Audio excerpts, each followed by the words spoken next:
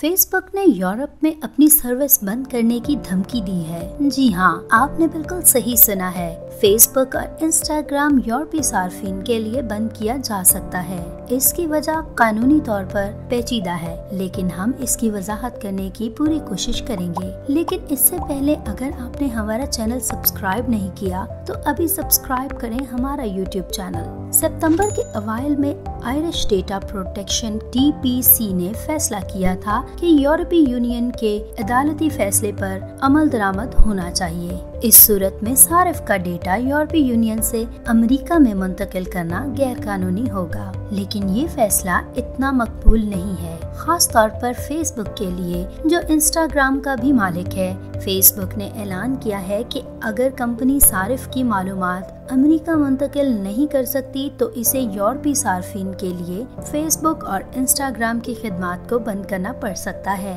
एक अंदाजे के मुताबिक फेसबुक के यूरोप में तकरीबन 410 मिलियन मुतहरिक सार्फिन हैं। इसके सारिफ, खैराती इदारे और सियासतदान भी हैं। सोशल मीडिया चैनल्स में फेसबुक की अपनी ही एक अहमियत है, जहाँ सार्फिन अपनी राय का आजादाना इजहार करते हैं वॉइस मैगजीन में फेसबुक के तर्जुमान के बयान के मुताबिक, यूरोप में फेसबुक और इंस्टाग्राम सर्विस को बंद करने के खदशे का ऐलान कोई धमकी नहीं है, बल्कि इस बात पर रोशनी डालना है कि अपनी खिदमत जारी रखने के लिए अपने यूरोपी सार्फिन का डेटा अमेरिका में अपने सर्वर्स तक मुंतकिल करना कितना ज़रूरी है। मजीद मालूमती और लेटेस्ट अपडेट्स के लिए अभी विज़िट करें हमारी वेबसाइट डब्ल्यू